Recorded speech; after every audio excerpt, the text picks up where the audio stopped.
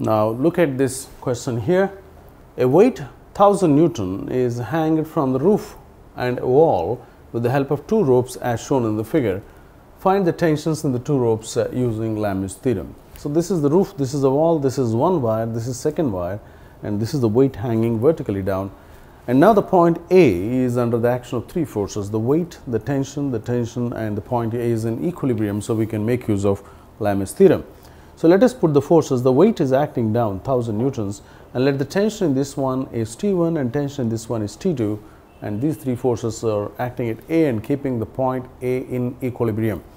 So, let us draw a horizontal line so that this 60 degree comes here because both are equal. And this is 60 degree. Since this is 60 the remaining angle here is going to be 120 and we know this is 90 degree.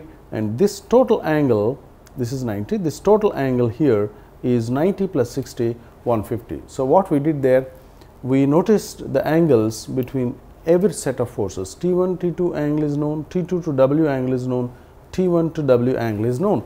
So, if all angles are known and one force is known, the other two unknown forces can be calculated using Lami's theorem applying it at the point A.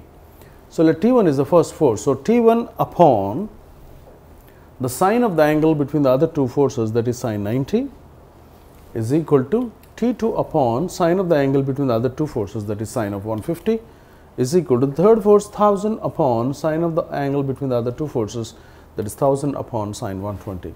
So, it is a matter of simplification. Equate the first to the last.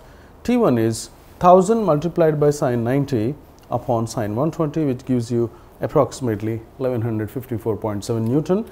And if you equate the second and third T2 is 1000 multiplied by sine 150 upon sine 120 gives you 577.3 Newton. So, this is how Lami's theorem can be applied and to find the two unknown forces provided the angles between all the three forces are known.